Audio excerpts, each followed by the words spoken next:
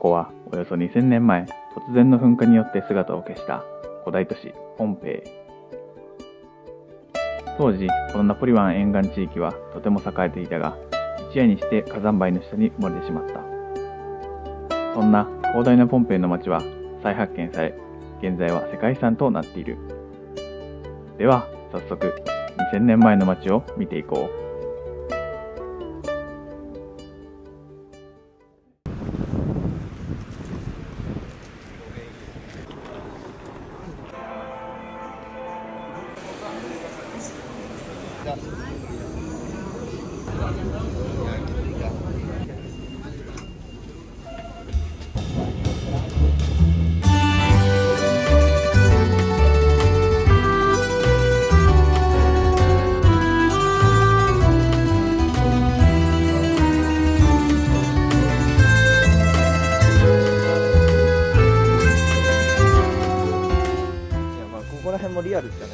いやリアルだよ。だこれあったって。そうそうそう。そこもリアルよね。思ったよりガチってな。これ入ってみる。ガイドをちょっとケチったんで全く内容が分かんないけど。コメント薄。博物館とかで見るのとやっぱ全然規模が違うし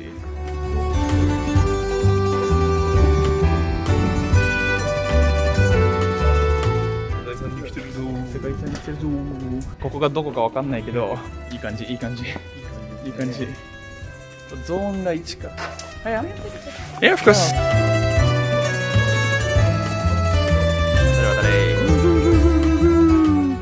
これねすごいよ。ほんと。おお入れちゃうぜ。入れちゃう。系じゃん？カサデイディオスクビ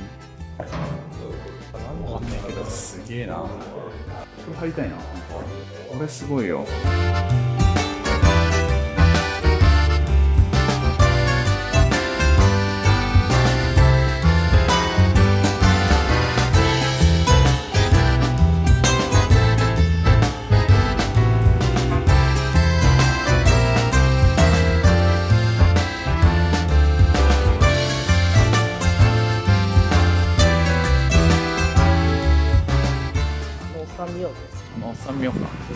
あれあれじゃね？なんだっけ？そうそうそうそうそう。で馬に人間でもそれしかないな。え人間の頭っしょあれ。胴体が人間だよ。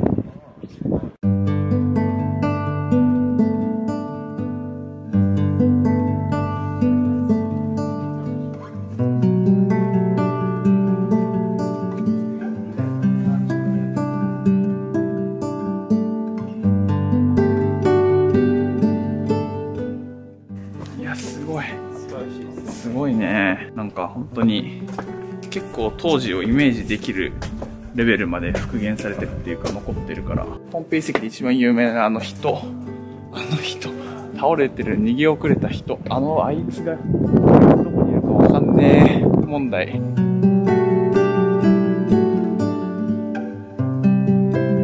えー、マジかよ。グラナイデルフォロって書いてあるわ。マジかよ。書いてあるわまさかの修復中で、まさかの未練。占いでるフォロー。占いあのいう、まさかの博物館より本物なのに見れないっていう。一番の目玉見れねえのかよ。そう。じゃあ博物館で見るかいつか。一緒や。他と一緒や。でもこの街のね、空気感はね、絶対ここでしかないからね。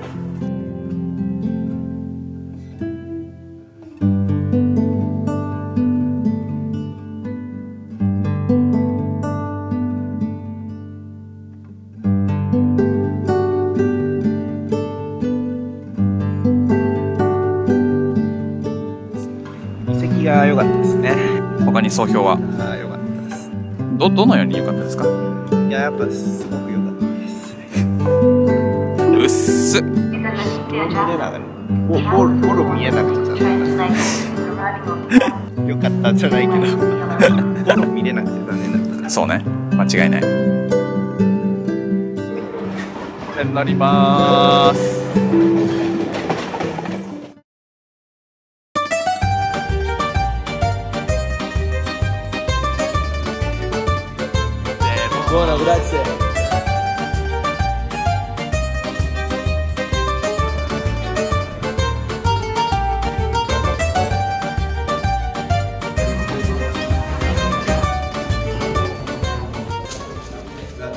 grazie. Ciao, grazie. Ciao, grazie. Grazie. Buono. Buono, grazie. Grazie. Ciao.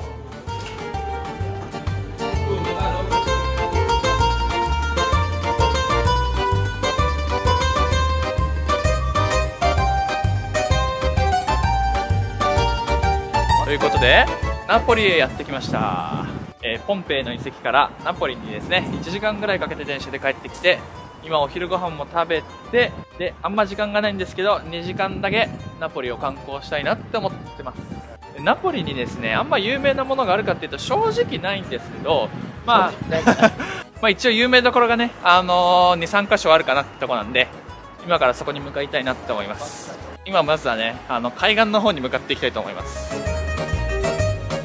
Polizia, polizia. はい、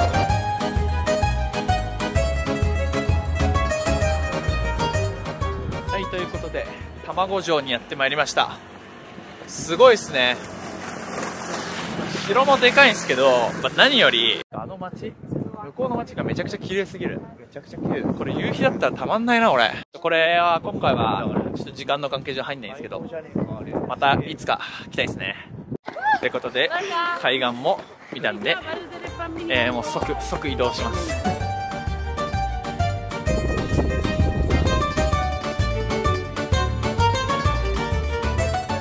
ってまいりました。名前は忘れましたがこちら。ドーム状になってますね。結構広い。まあオフシーズンっていうのと平日というのもあって人は全然いないんですけどあれですね。よくあるこうブランド品がこう周りにこうバーバーバーってこう並んでるっていう感じの店ですね